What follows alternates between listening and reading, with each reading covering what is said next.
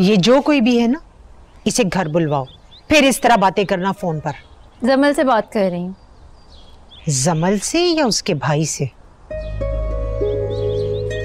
क्या? मैंने तुम्हारी बातें सुन ली थी। पता चल गया मुझे। अब जमल से कह के उसके घर वालों को बुलाओ। लेकिन कोई लेकिन वेकिन नहीं। मैं कौन सा रखना डाल रही हूँ? जहाँ शादी करनी है कर लो। नहीं वो मैं जमल का फ़ोन आए तो मेरी बात करवाना। या खुद ही कह देना उससे जी कह दूँगी। बस जल्दी जाओ अपने घर।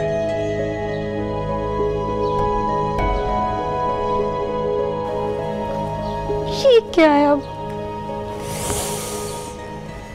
अब मुझे ठीक से बताओ कि मसला क्या है? आंटी फारिस बिज़नेस में इतना बिज़ी रहते हैं आजकल। मैं बस उनको डिस्टर्ब नहीं करना चाहती। ओहो ये बात है। चलो देखो अगर तुम उससे इस वजह से नाराज़ हो तो कोई बात नहीं। आफ्टर ऑल तुम दोनों फ्रेंड्स रहे हो।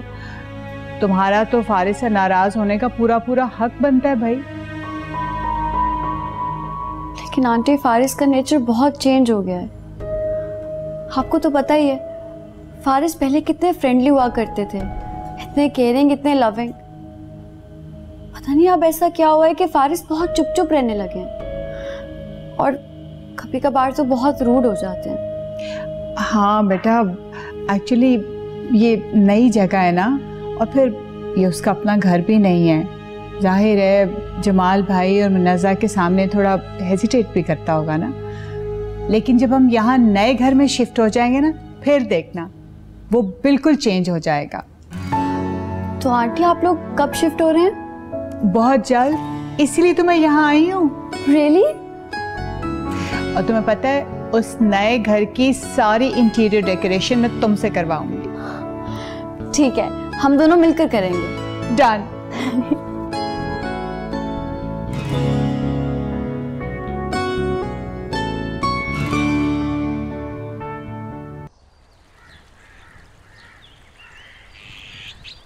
Hey, I got these for you.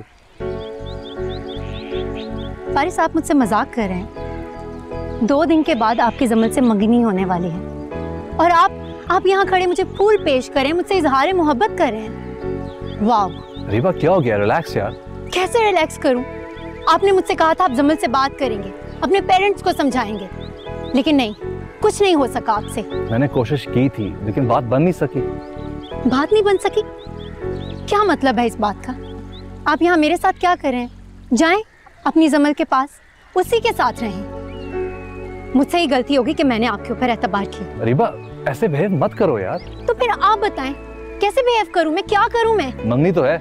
निकाह तो नहीं हो रहा ना। मंगनी तो जब दिल चाहे टूट जाती है। रियली और नहीं तो क्या? अभी मॉम थोड़ा हाइपर है। सारी ज़िंदगी उन्होंने जमल को देखा है बहू के रूप में। अब उन्हें किसी नई लड़की को तस्वर करना मुश्किल हो रहा है। जो भी है फारिस ये सब आपकी वजह से हो रहा है। और अगर आप मुझसे मोहब्बत करते हैं ना तो आपको मेरे लिए स्टैंड लेना पड़ेगा। और मैं लूँगा। तुम्हें किसने कहा मैं तुमसे धोखा करूँगा? पता नहीं कब लेंगे आप स्टैंड मेरे लिए? यार बस थोड़ा सा वेट करो थोड़ा सा। हालात दिन ब दिन खराब होते जा रहे हैं। उधर जमल के घर वाले मेरे लिए रोहान का रिश्ता लेकर आना चाहते हैं। मैं उससे पहले ही जमल से बात कर लूँगा। मुझ पर एतबार है। बहुत एतबार है। इसीलिए तो अपनी दोस्त के साथ ऐसा कर रही हूँ। ये सब मैंने आपके लिए ही तो किया। मैं जानता हूँ। वरना मैं कभी जमर के साथ ऐसा करने का सोच भी नहीं सकती थी। मैं ये भी जानता हूँ। अब ये तो ले लो। वेलकम चले। हाँ। फारिस मैं पहनूँगी क्या?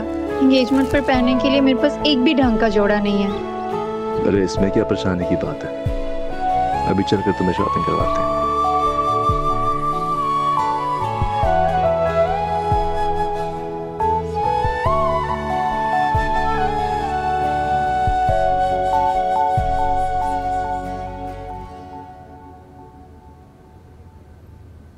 ये देखो ये कैसी है? अच्छा तो हम यहाँ जमल के लिए रिंग लेने आए हैं। यार रेबा एकदम गुस्सा ना हो जाया करो यार। पूरी बात सुन लो। तो? ये जमल के लिए नहीं है ये तुम्हारे लिए क्या वाकई? हाँ। ना अब सिर्फ़ तुम मेरी मंगेतर हो लाभ मैं पहनाता हूँ।